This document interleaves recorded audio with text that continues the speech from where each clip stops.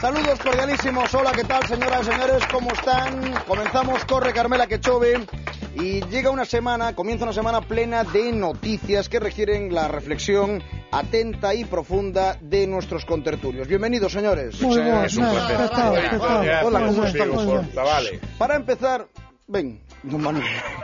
Para empezar, tenemos dos noticias luctuosas y dos nombres que se han repetido durante los últimos días. Me refiero al que fuera presidente argentino, Néstor Kirchner, y al del nombre del sindicalista español Marcelino Camacho. Sí, sí, sí, Lamentamos sí, sí, la muerte de ambos personajes. Pablo. Os dous, os dous morreron perto do día dos defuntos, non? De Camacho pódese dicir que morreu no seu tempo que tiña 92 anos e levaba varios enfermos, pero Kirchner, home, Kirchner, era novo e morreu de repente.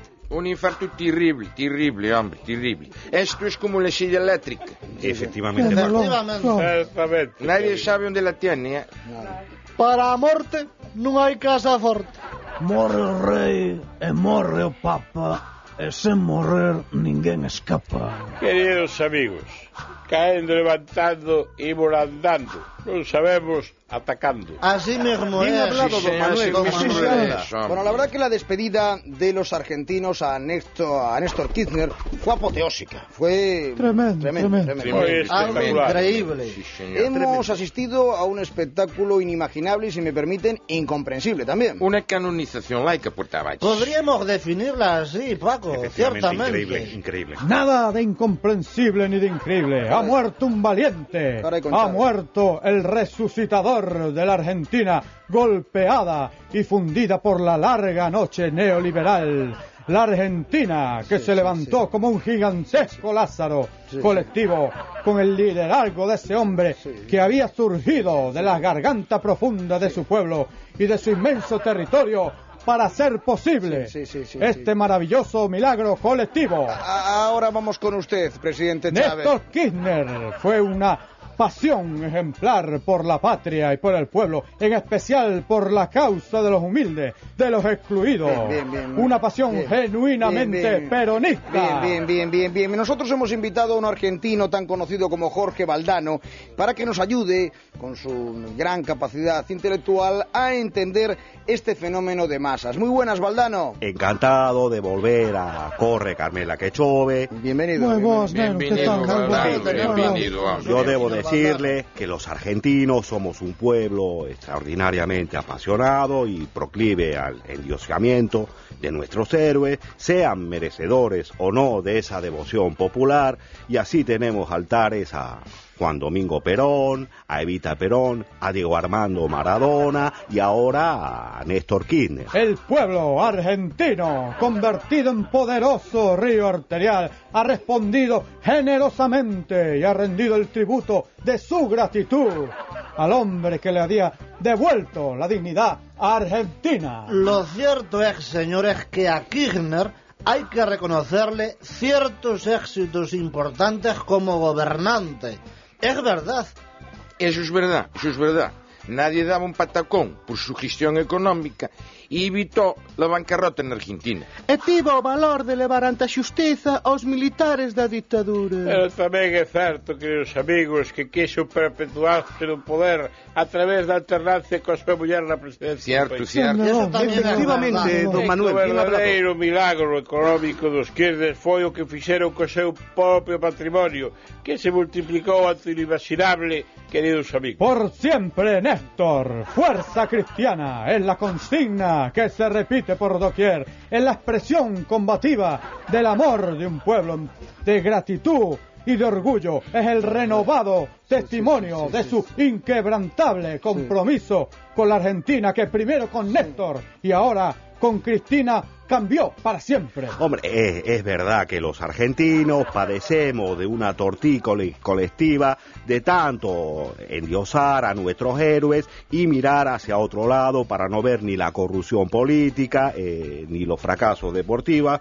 En fin, Evita será siempre la santa o la diosa de los humildes, como Diego Armando Maradona eh, será el semidios o el dios de los amantes del fútbol, y ahí no hay razón sino glándula. Hay un antes y un después de Otra Néstor me- Kirchner en la historia argentina A todos. contemporánea. Un antes y un después que se define por el regreso triunfante y orgulloso de la política, de la gran política. Se puso en marcha una dinámica de repolitización, joder con la palabra, que la sociedad toda, especialmente de la juventud, que hoy está dando su fruto en la inmensa patria grande. Pues, pues muchísimas gracias, Jorge Valdano, muchísimas gracias. Gracias a y muchísimas gracias, presidente Chávez. ¿Cómo que gracias, presidente Chávez, si no me ha hecho ninguna sola pregunta, por No le favor? pregunté nada, se lanzó usted, señor Chávez. Hombre, estuvo usted dando la vara todo el rato, pues ya me dirá. Protesto enérgicamente por este trato discriminatorio que se me hace en Nada Torre. Carmen. Eso no es verdad, ¿eh? señor No, Chávez. no hay discriminación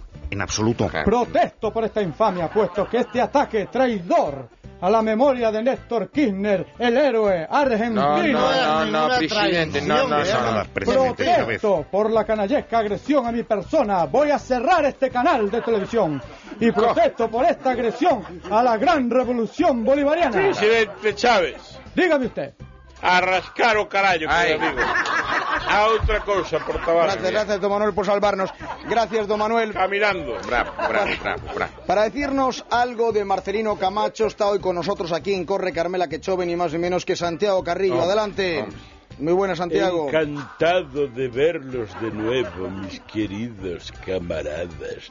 De corre Carmela que chove. Esto, bravo.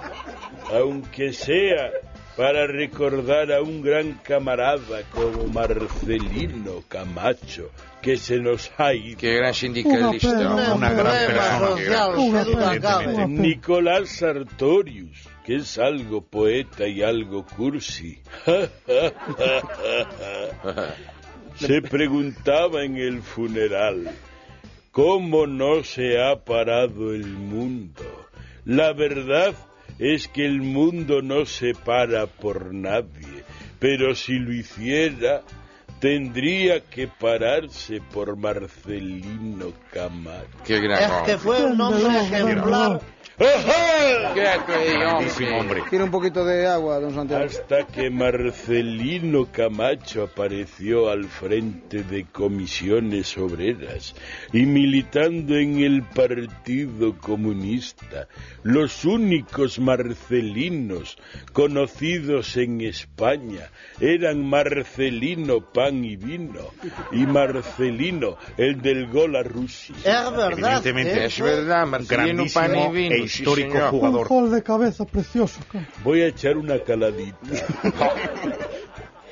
Y al evocar la figura de Marcelino Camacho, yo quiero recordar a su viuda Josefina Samper, que lo acompañó toda la vida en la acción y en la persecución, y que se sacrificó enteramente por él y por la causa. Y que le hacía aquellos jerseys de cuello vuelto para que no cogiera frío en la cárcel, hombre. Aquellos jerseys se llamaron los marcelinos. Queridos camaradas de Corre Carmela que chove, descanse en paz Marcelino Camacho. Pues Descanse en es. paz porque Amén. merecido tiene. Que descanse en Bueno, paz. pues muchísimas Así gracias, eh, muchísimas gracias Santiago Carrillo. Eh, ya puede salir. Encantado de, encantado de verlo y hasta otro día, si le parece. Hasta siempre, camaradas. Atrae.